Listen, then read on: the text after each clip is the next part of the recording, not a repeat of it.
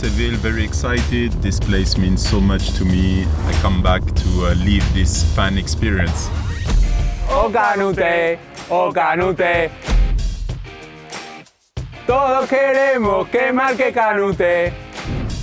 It's the most important fountain for the Sevilla. Sevilla celebrate all the titles here. Kanouté is a legend.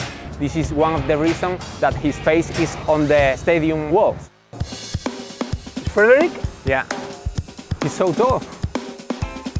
Why have we met here in this particular place? We are here because we want to remember all the big nights.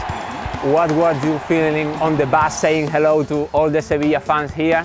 For us, it's the same. It was like kind of a communion with, with the fans. So yeah, this is a, definitely a special place. This time is going to be not getting in the bus. You are going to be outside with us. I can't wait. This place contains the history of Sevilla. We met here to have our meal before the match, play a little bit with the footballing.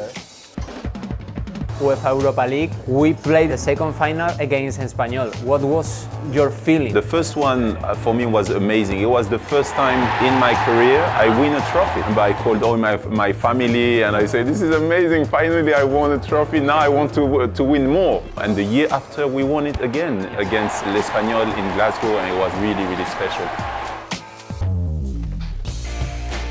We are here some minutes before the players get in the bus. Un autógrafo, un autógrafo.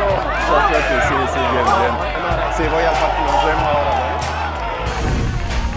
¡Vamos, Sevilla!